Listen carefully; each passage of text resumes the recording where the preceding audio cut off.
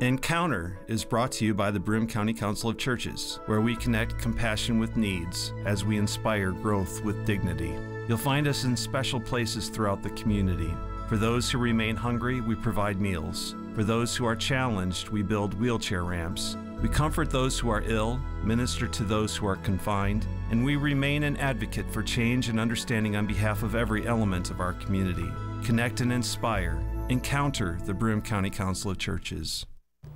Good morning and welcome to Encounter. I'm your host today. My name is Joe Sellepack. I'm the Executive Director at the Council of Churches. Well, happy Easter.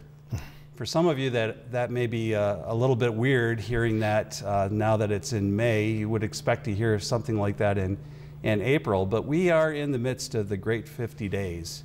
Easter kind of launches us into the Easter season. And each week, as you go to church, you hear um, people talking about Christ being risen, and every every response comes back, He has risen indeed, and um, Alleluias kind of permeate the entire the entire season. So, why is it important for us to celebrate the great 50 days of Easter rather than just a day of um, that that a holiday happens? You remind me, I had a little discussion with uh, one of our kids going down for Liturgy of the Word for, with our kids, and I mentioned something about Easter. I said, uh, you know, is the, you had a great Easter? They said, yeah, it's all over. And I said, no, it isn't. said, so we had a little back and forth with this young little girl, and she said, no, it's still, it's all over. I said, no, it's still on. I said, it's 50 days. Uh, so yeah, we're right in the midst of the Easter season. I look at it really, it's 90 days when you look at Ash Wednesday to Pentecost. Right. Um, you know, to see it as one entity, you know, that flows, one season flows into the other. And uh, that whole 90 days focuses in the center of our faith as Christians, the death and resurrection of Christ. So uh, trying to take that in is, uh, you know, it's a spiritual challenge. And, and, and the 50 days is uh, like within the, within the biblical tradition, um, is the 50 days that between Christ's resurrection and, and Pentecost. And Pentecost when the, when the Spirit descends on the church. Mm-hmm. I actually was reading, um, I don't know if you've ever heard of Brennan Manning, but oh, I, yeah. I, was reading a, a, a Abba's Child. I'm, I'm, rereading it for, I, I, think it's probably the third time I've, I've read that book. But he was talking about even how Pentecost is the appropriation of the resurrection for the for the church mm-hmm. in the life of the church, and so mm-hmm. it's it's a present reality even through Pentecost, isn't mm-hmm. it? Right. So so um, how did your congregation? Uh, my, my guest today, I, I, should I should introduce you. My, my guest today is Tim Taugher, who's uh, the pastor at St. Francis of Assisi. It's really great to have you here today. Thank you, Joe. So, um, so how did your church celebrate Easter this year? Well, I mean, I just find the Holy Week Easter celebration just a powerful, you know, experience of liturgy. You know, with uh, whole, uh, you know, the Triduum, and then Easter with the flowers and uh, the water. You know, we begin. Uh, the ritual speaks for itself. You know, right. Uh, our primary uh, central liturgy for the whole year is the Easter Vigil. You know, it's a long mass and a long liturgy because it takes in the liturgy of the light, the liturgy of the word, uh, the sacraments, and then the liturgy of the Eucharist.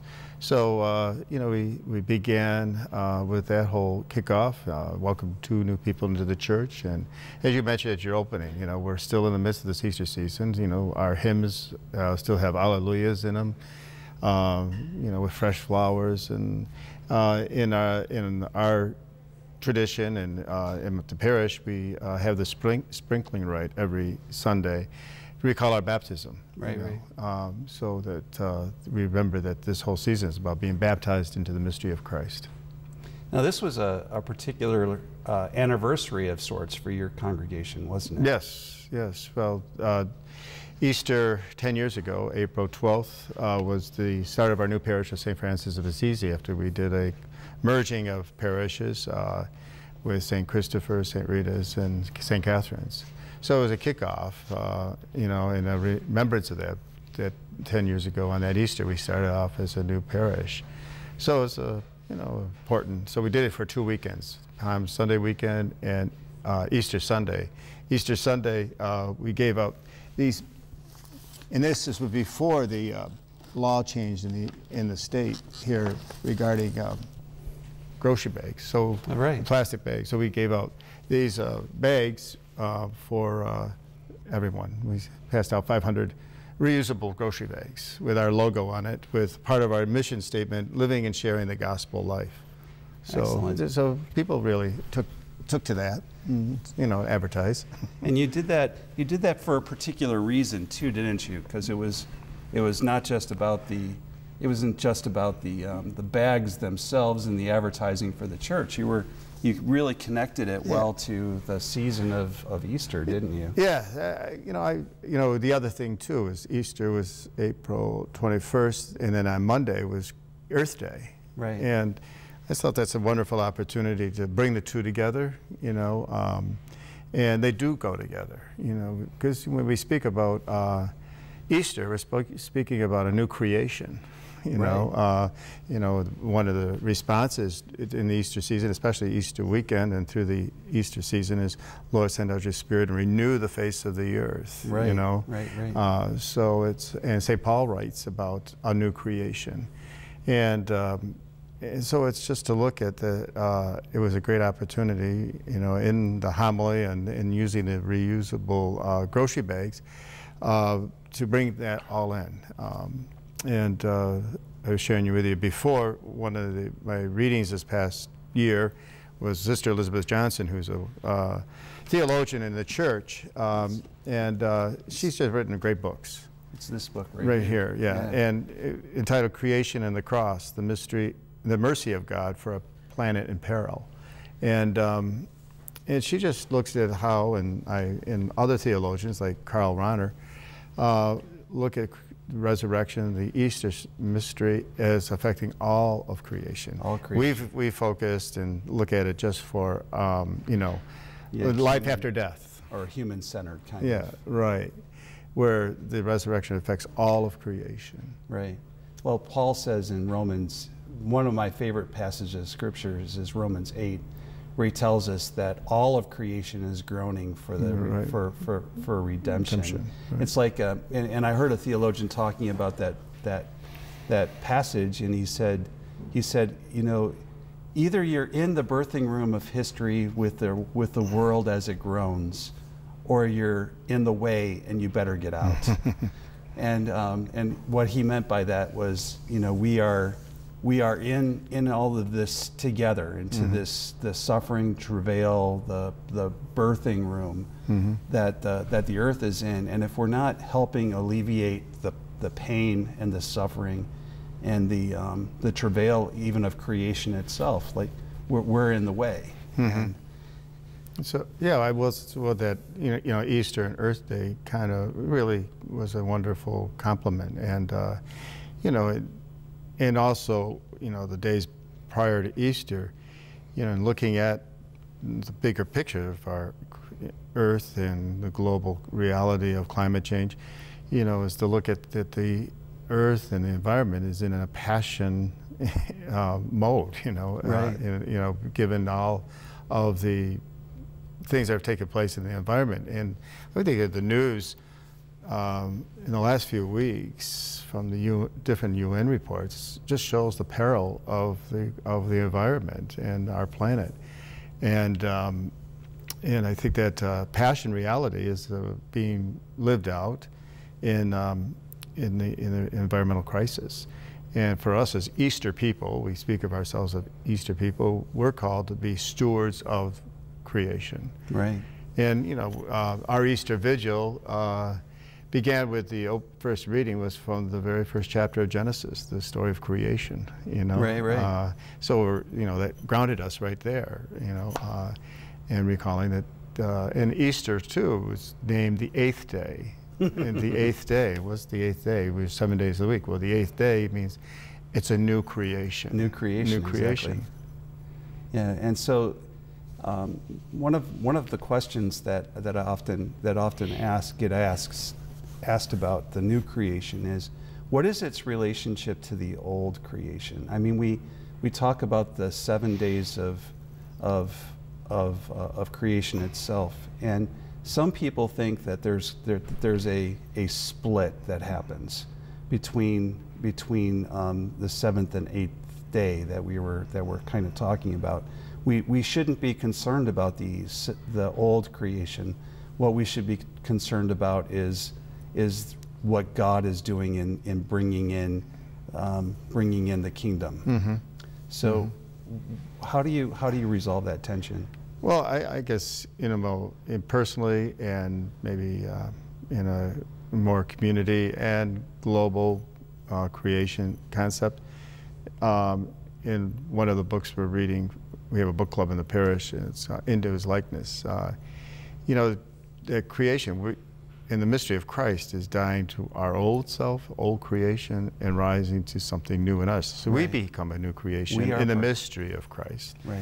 Um, and, uh, and as stewards of creation too, in the world in which we live, is to uh, move out of the old habits, the old ways of what we, and the way we're living on this planet, right. to new ways of living, uh, new life, um, and new life. And I, I, think that's another reason um, the 50 days of Easter is to take into this, into our lives, this concept or reality of transformation. It's not easy. and trying to take into the mystery of new life, the resurrection, um, is uh, takes time to really take into our souls, take into our hearts, and into our lives. Um, and I think that takes time. That's why the 50 days is to try to delve deeper into that mystery. My guest today is Tim Taugher from St. Francis of Assisi Parish, and we're talking about the season of Easter, but but in particular, we're we're, we're moving we're moving into creation care and stewardship of creation as being important for discipleship. Mm-hmm. And that's indicative of, of, of the new creation that we're that we are born into in this whole this whole resurrection this whole resurrection season. Mm-hmm. So um, how do you appropriate that when you're when you're talking when you're talking to, to like you, you we started off by talking you were talking with a with a little girl. girl yeah. How do we how do we appropriate that with our in in in how we raise children and how we um, and do things inside of the, the church? Well, I think you know, and one thing too is that you know, in our you know church, you know, in churches all through our traditions. I mean, if there's going to be a crowd, there's going to be a crowd on Easter. Right. You right. know, and they're not going to be there next week. They're not going to be here this week.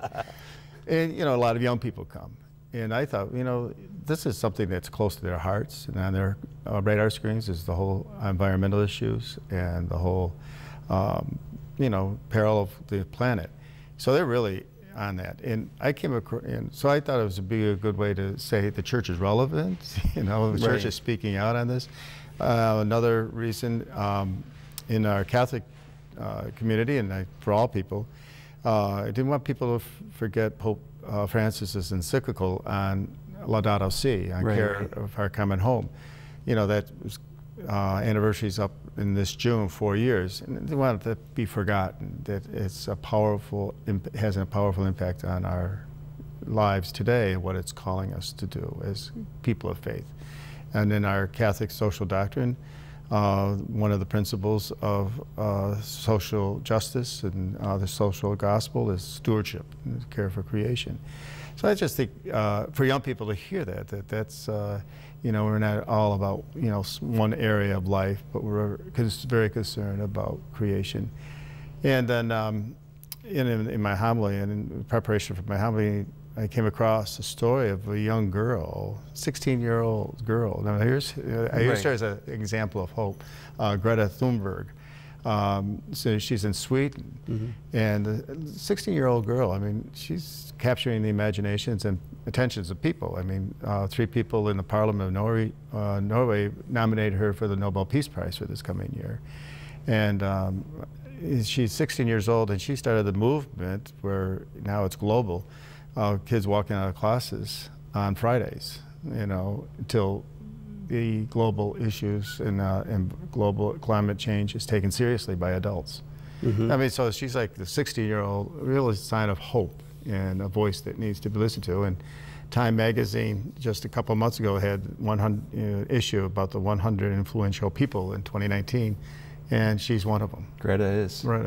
Yeah, excellent. Excellent. I just thought there's just a lot of ways this could be woven in. It is pretty cool. And and so like uh, you know the the other thing that, that kind of that where my thoughts have been been recently, and I and I don't know what your what what your thinking is on this, but um, on on Easter we had the the um, the the, uh, the shooting of Christians in Sri Lanka, and the devastation that that that wreaked on the community at the same time as they're trying to celebrate Easter renewal, and you have uh, retaliatory strikes against Muslims and against and against um, Jewish people, and there's this sense in which not only not only is not only is the the theology that leads us to um, like conquering the earth or subduing the earth or dominating the earth that that it's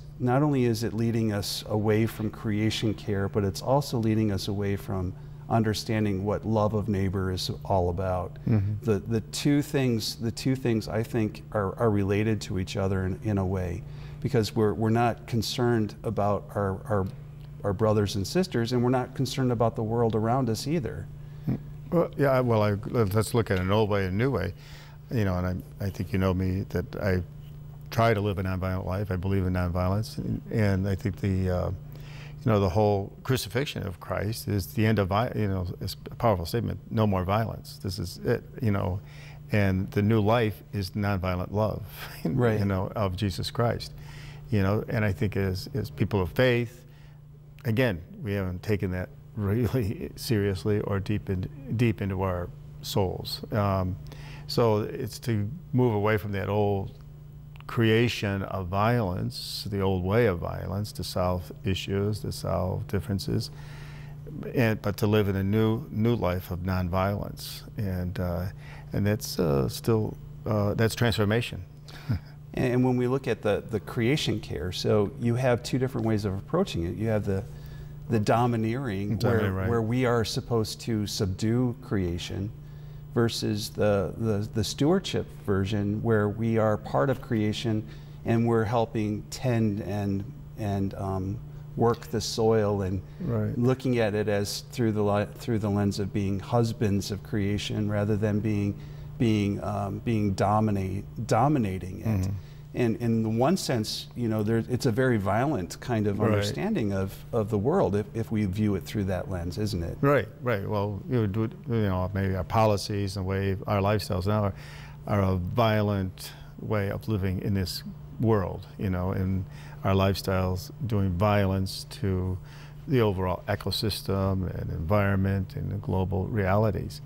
Uh, and so to, uh, to become true and stewards means to live uh, more compatibly with our environments, and that's transformation. Um, and, uh, you know, Genesis calls us to be co-creators. Right, right. you know, co-creators. as you said, not to be dominating uh, creation. And that's, that, that, that grew over time because of we were the center of the universe. And one of um, one of my you know one of my favorite things about the Psalms is how how often the um, the trees are praising their Creator. Mm-hmm. It's it, if you just take the trees out of the out of the equation, you would be silencing a voice in in the Psalms because the, the, trees of the field clap their hands. The trees of the fields um, announce God's reign. The tree. It, it, not only that, water itself and, oh, yeah. and animals and, and all of creation somehow comes together into a symphony of praise. I, have often one of my one of my favorite theologians is uh, Walter Brueggemann, and won't mm. go and, and, you know, know. a layperson yeah. layperson hears that name probably from their pastor a lot from the pulpit, but um, Walter Brueggemann um, says that whenever whenever uh, a, a, a, a, type of bird goes extinct or whenever whenever we have um, like a blight that happens with uh, with the trees another voice has been silenced in the praise of God um, mm-hmm. what do you what, what are your thoughts on that well I, I, well, I agree with that um, and uh, just thinking about a report just recently that just came out about the species, and right, you know that right. is under real. Cons- it's alarming, You know, it's a red alert. How about the uh, species are being extinct, and what the impact will have on the environment and our glo- global community. Uh, so, uh, you know, it is. It's you look at the scriptures. You know, there's so much about uh, the environment and creation woven through from Genesis one all the way to Revelation. You know, the environment is a very important part of uh, the, our theology. And, and so, you know, what what it, what are your thoughts as far as like how this is um, going to be playing out for through through the remainder of, of the Easter season within your church? Well, I, you know, looking at uh, getting ready for Pentecost, you know, uh, the Pentecost celebration is uh, to go out into the world, to bring the good news, to bring the message of Christ, and empowered by the Spirit. Again, on that uh, on the Pentecost celebration, I know uh, one of the responses and you know, it's fitting for that day, as it is any time in the church year, is Lord, send out your Spirit, renew the face of the Renew earth. the faith. So, Yeah. uh, that's what we're missioned to do, you know, and, the, and Pentecost is about being missioned uh, as a church to share the good news of Christ. Um, so, you know, where where can we bring that? And certainly uh, into our social fabric, where there's still ongoing violence in, those, in our tensions, in our interfaith tensions, and what's happening, and also in our world, uh, in the environment community, to bring this renewal spirit into all fabrics of our society and, and life. I was thinking about uh, Karl Rahner states that Jesus' resurrection is like the first eruption of a volcano, which shows that in the interior of the world, God's fire is already burning, and this will bring everything to blessed ardor in its light. He is risen to show that this has already begun. Yeah. I just I love that quote, and uh, you know that fire is already um, burning, uh, and it's erupting like a volcano. You know, when I think of that, I think of the Holy Spirit. You know, the symbolism of fire. You know, burning and erupting into our lives. So I think uh, another thing about Pentecost is to be people of passion, pa- Right, you know, right. passionate about you know the gospel, passionate about uh, this good news that we can bring. Again, think about this young Greta. You know, she's passionate, a 16-year-old, to wake up adults who've become apathetic. And she has she has that volcano. Oh, she does. Yes, Yeah. I've heard her on the news, and Yeah. and uh, she's very passionate.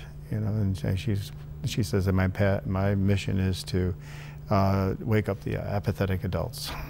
They're not taking this message seriously. Right. And, and, and really, I mean, adults, adults tend toward um, trying to be the, you know, we want to extinguish the passions. We want to kind of be moderating kind of influence. And, and for, for, chil- for, for teenagers and for young adults, there seems to be this need to want to, to, um, to get us to move off of dead center. So how, what, if we are going to be responsive to the work, to, to millennials, um, especially on this issue of creation care, how might that influence, influence the life of the church? What, what should we be thinking about? Well, I think uh, we should be in dialogue with them, working with them, let them guide us. You know what? You know, you know. This is as we just mentioned. Uh, their this is their passion, and uh, we should be working with them. And that's what I mentioned just a little bit ago. Um, uh, Pope Francis in Laudato Si, you know, it's just a, a wonderful. Uh, it grounds us in what action we can do, theologically and spiritually. And we have this to contribute. You know, it's not just a political issue; it's a moral and ethical issue as well. And, and it seems to me too that you know, well, one of you know another book that I, I read recently was um, Diana Butler Bass. She wrote a book, hmm. book, book called Grounded, and it, one of her points in the book was that a church ought to be planting a garden. Mm-hmm. And it and it, it- that what she was what she meant by that is that we should be concerned about planting and hmm. growing things and how how they're produced and how how we how we consume what we what we what we work on and, and, and that there's something about faith that's involved in in that entire that entire um, uh, process that leads up to us eating food off of our table. Yeah, yeah. We're, we're, in fact, uh, in the parish, St. Francis, we have a, you know, a boy that's going through Eagle Scouts, young guy, man going through the Eagles, getting his Eagle Scout, and his project is he's doing raised gardens on one of, part of our par- property, you know. So that's uh, you know, so it's taken on that uh, call and something he really wanted to do, and it's uh, you know good a good project for his Eagle Scout Award. Uh, and, he, and he's very enthused about it, and he has people working with him, and he's drawn in the community to support him. Now, I'm going to open up a little bit of a can of worms. It's an hour, we have a, a minute, 15 seconds. But before you talked about time, you know, and, and we're celebrating 50 days of Easter, and you, you, you said we need to slow down to, to really understand that. Um, Because what we, what we want to get to the end before, before it's actually finished. Um, how important it is, is it for creation that we enter into a different understanding of time, do you think? Well, I think one, one way is to honor the Sabbath. You know, the Sabbath is to honor uh, a Sabbath rest, a creation rest. You know, uh, and it's honoring time too, to make it, uh, you know, to take time to uh, reflect, rejuvenate, pause. You know, you know that's woven in the in the scriptures. The whole theology of Sabbath and sabbatical and jubilee, uh, directed in many ways to uh, the land, to give the land rest, to rejuvenate itself. We, we don't honor the Sabbath, you know, that time, and that's holy time. And uh, I think that's one way we could ap- appreciate and appropriate, you know, a holy time in our lives. Well, I want to thank you for taking the time to be on Encounter because this has been a, an excellent uh, conversation on Easter and, and being, being renewed as Mm-hmm. the creation is um, with, through the face of the earth. So thank you for being on Encounter. It was great to have you. Thank you, Joe. Appreciate it. And, um, and for all of you, I wish you a great Sabbath day and may you find true rest and, and uh, nourishment for your soul today. Have a great day.